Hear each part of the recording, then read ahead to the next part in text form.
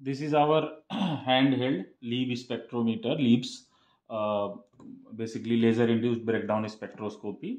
This device uh, is a PMI machine. We don't claim it as a OES. So this device gives carbon also without use of any argon gas. You can test directly onto the job. But uh, its accuracy uh, is somehow uh, about 10% so here is a uh, sample. You can see this is 118 IMZ and you see IMZ 118 you can see all the readings. So carbon is here 0.69 and the variation in carbon is 0.68271 so 69 is the average value. So we are just going to test. Here is a high resolution camera. You can see the spark and spark is uh, invisible from the naked eye.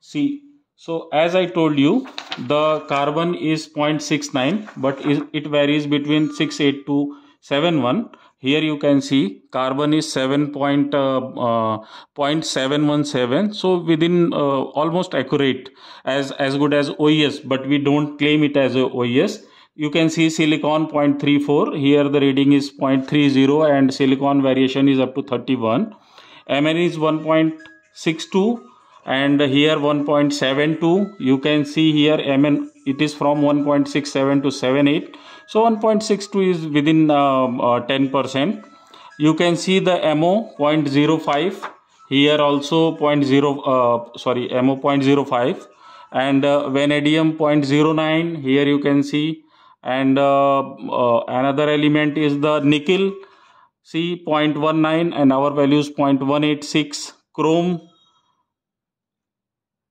I cannot find out. Chrome is 0.18 and here is uh, chrome is 0.14 and result is 0.15 thank you. And there is no need of any argon gas. Directly you can test